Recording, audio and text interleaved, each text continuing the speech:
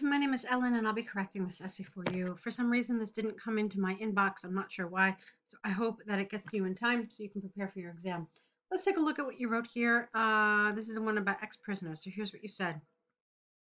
The world today presents a high rate of crime that is rooted uh, in, something is rooted in something, are sociological problems. Some believe that we can prevent teenage crimes by giving them lessons from the imprisoned people who share their regret and remorse, tell about horrific details being in the captivity.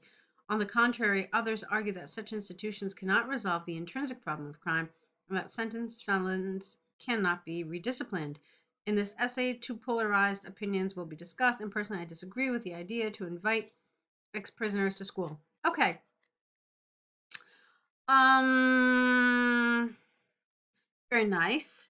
You've done a lot of good things. Um, there is some error though. Um, so that's what I want to work on a little bit. I was nervous as I kept going on because it felt kind of long actually, and I want to point your opinion. Um, I want to point your attention to something. I was nervous that you weren't going to tell us your position, but you did, and so that was a relief. Um, I do feel it's a little long for an introduction, and just to kind of prove my point, Take a look at how long this is compared to your body paragraphs. It's like an identical length.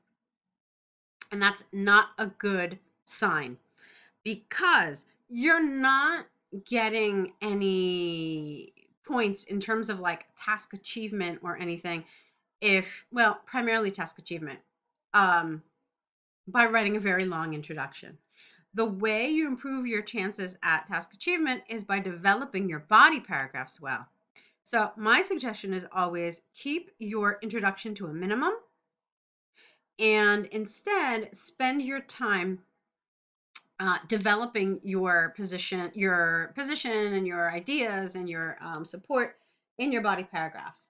Essentially, the introduction needs to do the following. It needs to briefly present the the issue, okay? Um, say what the dilemma is, what the controversy, the debate is, and then present your opinion. That's it. I mean, you could essentially do it in two, maybe three sentences. Um, right. I mean, yours, let's see, you've got one, two, three, four.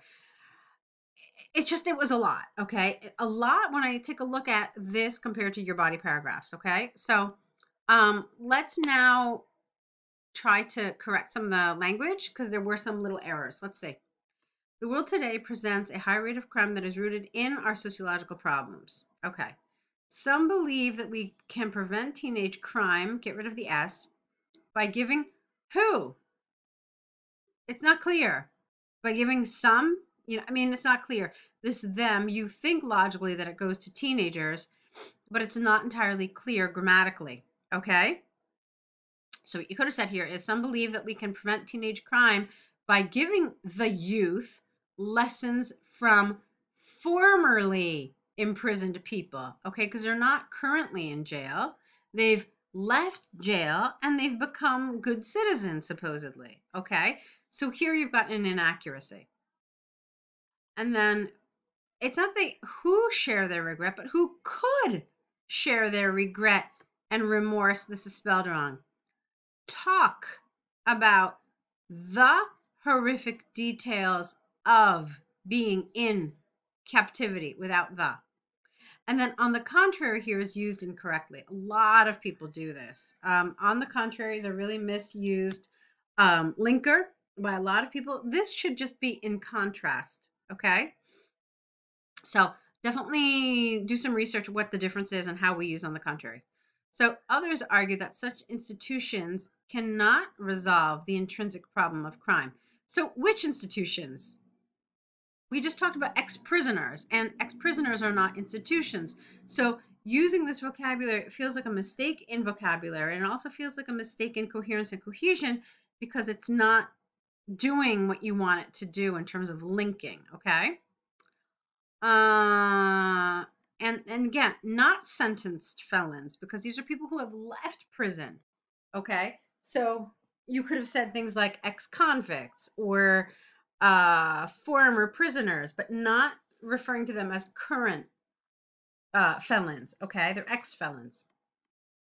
So, um, in contrast, others argue that such measures, maybe you could have said measures, cannot resolve the intrinsic problem of crime, and that ex felons cannot be re- redisciplined.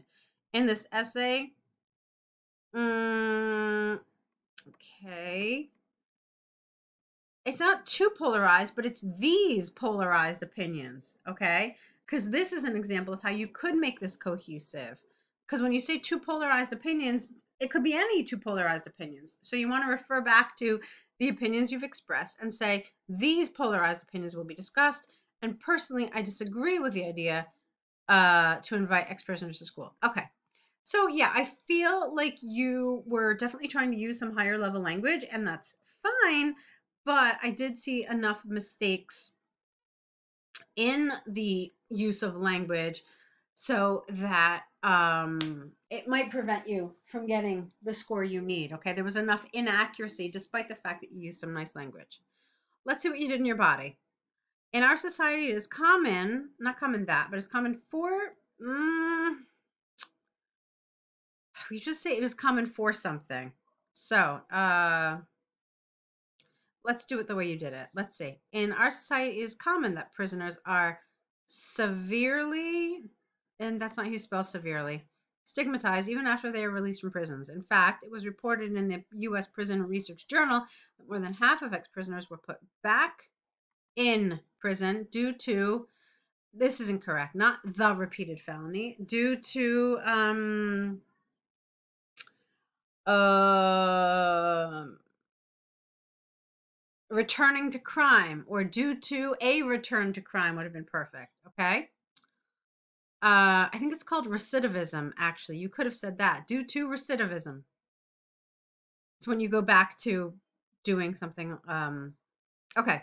It is because not a cohabitation. This requires no article. It is because, or not even it, this is because cohabitation with other criminals has long term negative effects on mental health and predisposes uh, people, okay, or ex criminals or ex convicts to repeated misconduct. Again, so two instead of four, and misconduct singular. Thus, finding and inviting a good ex convict is an extremely difficult task. Okay. Um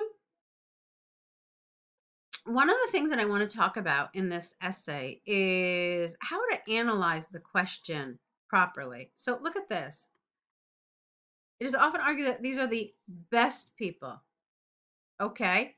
And so I want to also talk about that word, the best. What are they actually telling us here? They are um, clearly making a comparison. Okay. Or maybe it's not so clear, maybe it's indirect, but there's definitely reference to a comparison here. And they're telling us that they are the best people. So it kind of then begs the question well, compared to whom? Okay. So this is what you're supposed to talk about, whether they are the best or not. And if they are not the best, well, then perhaps who is? Okay. So you're telling us here that no, they're not good. This is impossible. All right. We're going to come back to this, but I want you to think about what I just said, and I want to see what you said here. On the other hand, it is psychologically careful with your spelling, effective to demonstrate to teenagers how crime can be detrimental for them. Ex prisoners may tell their story and scare, not scary, scare off teenagers from future fugitive actions. This is not a collocation that works here. Okay from future illegal actions would have been fine. For example, in my childhood, the government and school took several preventative measures by showing the terrific end of addicts. I don't think you mean terrific. I think you mean horrific. No? So such videos effectively turned us off from trying drugs.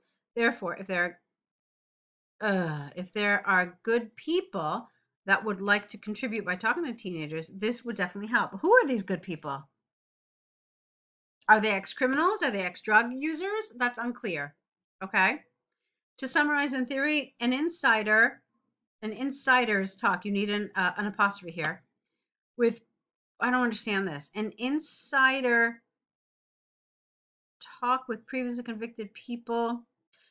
All right, so let's try this again. To summarize, in theory, a talk with previously convicted people will raise, not rise, second thoughts in young minds and hopefully stop crime. However, factually, comma, it is impossible to find such adults, comma, who are not traumatized by imprisonment, get rid of the, and, juris, and the